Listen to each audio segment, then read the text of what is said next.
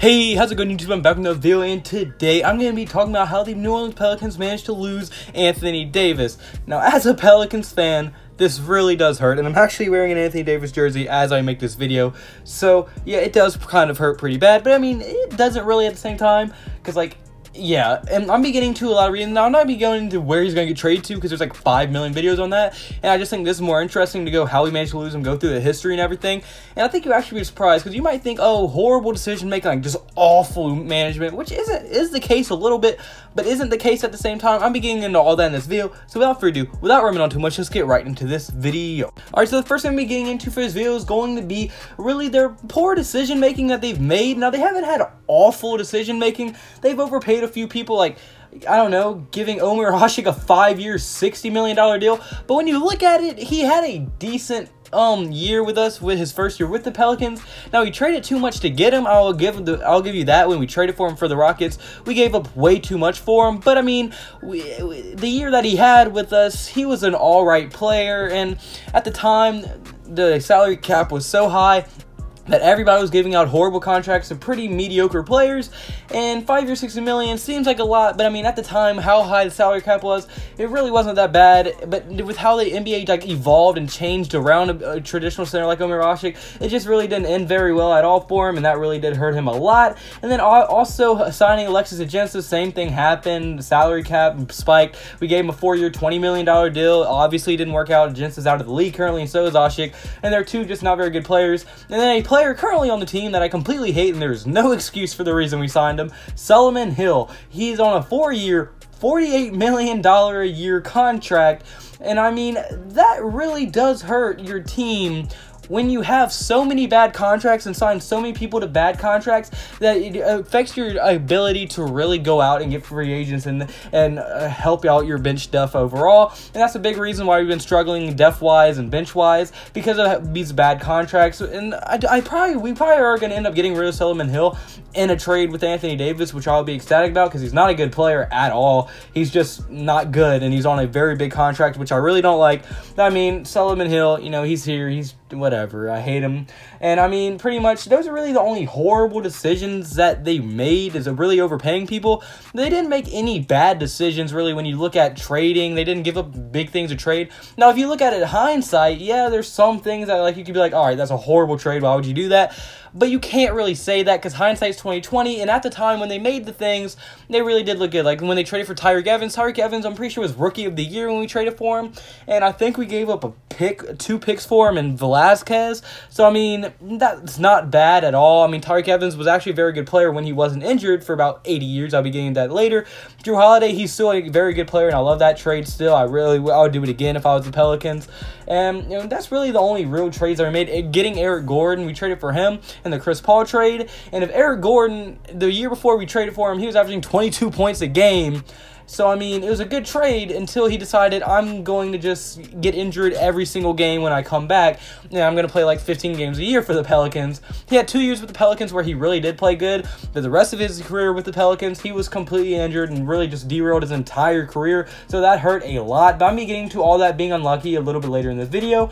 Now, my next reason is going to be keeping Alvin Gentry. Alvin Gentry was hired in 2015 where they have only made the playoffs one time since he has been the coach, and their defense has always been awful, despite having good defensive talent on team. You have two all-defensive first teams in Anthony Davis and Jrue Holiday. E'Twaun Moore is a decent defender. Drew, uh, this year, Julius Randle is a decent defender, and their defense has been absolutely atrocious. It has been awful. Ever since we got Alvin Gentry, it's been awful, and we fired Marvin Williams the year he made the playoffs, which I didn't understand either. But I mean, so Alvin Gentry, I gave him a chance, and I really don't like him as a coach. He makes some questionable decisions, and it's just like, why the hell are you doing that? He'll play people when they shouldn't be played, and it's just really confusing. And he, you can tell he falls in love with players that you probably shouldn't be falling in love with and putting them on the court, so he struggles with that as well. I mean, and he's actually doing it right now with someone named Kenrich Williams. He's a decent player. He could probably come off your bench and still about 10, 15 minutes a game, but he's currently getting like 30 minutes, but that's also due to injuries a little bit. But I don't think that he should be a starter on our team by any means.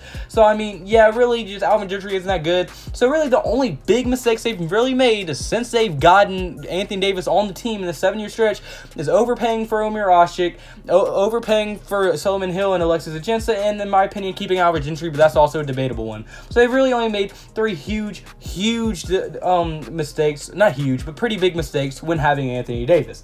And they really had to get Omer Asik because Anthony Davis was complaining how he never wants to play center and he only wanted to play power forward. So I mean, that was he kind of put the Pelicans in a weird spot there as well.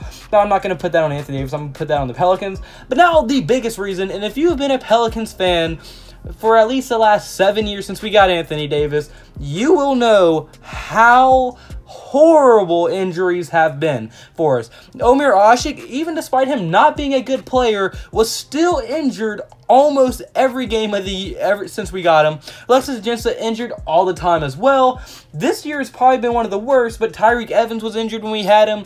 Eric Gordon was injured when we had him, and for a long time, Jrue Holiday was very injury prone, and also Anthony Davis will be getting some bad injuries as well. And a lot of people are looking at the Cousins trade saying we lost it, but if Cousins doesn't end up tearing his fucking Achilles, we have a very chance to be good.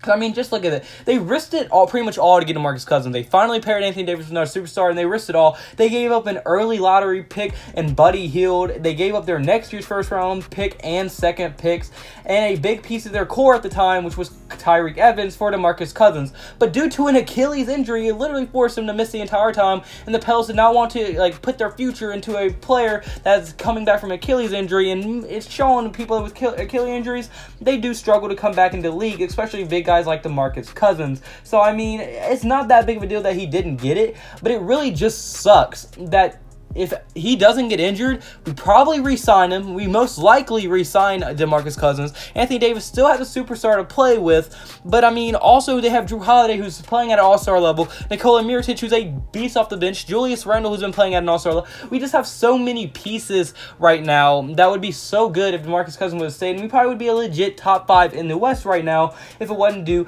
to just how bad of luck we've really gotten. But even if you do look at this year, this year long, say, okay, DeMarcus Cousins was last year, but now you look at this year, the year that Anthony Davis has requested a trade, and probably the biggest year, we would have been a playoff team, he most likely wouldn't have requested a trade from us, or he probably wouldn't have made it as public as it is. But this year, this is what has happened. To the, this is the starters alone. They have been. If you were a starter on this team, you literally like got killed with injuries. It was crazy. As the starters have played a staggering up to this point nine games together, and in those nine games, there are six and three. So they are good when their starters are healthy. But due to how many injuries they get, they can't get in rhythm. They can't get good players on the court, and I mean it is hurting them a ton. As the only they have five of their top six scorers on the entire team is injured. Anthony Davis, E'Twaun Moore, Nikola Mirotic, Julius Randle, who just came back last night and we won, and he put up 30 points. The dude's a beast. And then who else? Julius, AD, and then Jrue's out there. So I mean, it does hurt a lot when how that many people are injured, and they've been injured all year. It's not like this just happened. And Elfrid Payton's injured, so that doesn't help at all either. So I mean, when your starting point guard is out to go along with everybody else on your starting five, but your shooting guard and your six man off the bench is injured, you're not gonna you're gonna struggle to win games. So really, if you chalk it up to how they lost Anthony Davis, it is purely almost unluckiness because those three mistakes in a seven year span isn't that bad when you compare it to some organizations. But then you just look at what the Pelicans, how unlucky they've gotten with injuries. I mean, that hurts a ton, and I really just think you can chalk it up to injuries. Is why a big reason why we lost Anthony Davis. But uh, I want to hear your thoughts in the comment section below. Do you agree with me? Do you think they lost Anthony Davis due to injuries, or do you think they made some mistakes farther down the line that I missed? I want to hear all your comments in the section below. Why do you think Anthony Davis is leaving? Where do you think he's going to be traded? I want to hear all your thoughts and opinions in the comment section below. And if you did like the video, put a like button and subscribe button. That would mean the absolute world to me. And also, I cannot thank y'all enough for all the support y'all have been showing, but I also have to give all praise to God. He's the reason I'm here. He's blessed me in the position to make these videos. He's blessed me to keep the drive going to make these videos almost every single day for you guys, and I just love making them as well, and I love spreading his name through his videos while making them and giving you the news as well. And we did just trade for Markieff Morris like a couple minutes ago, so I mean, if you want to see a video on that, comment down below as well. But like I said, if you did like the video, point, hit like button and subscribe button, it would mean the world to me, and I hope you have a blessed day. Could I have a blessed day? So you need to have a blessed day. See you in tomorrow's video. Goodbye, boo. Blah, blah, blah.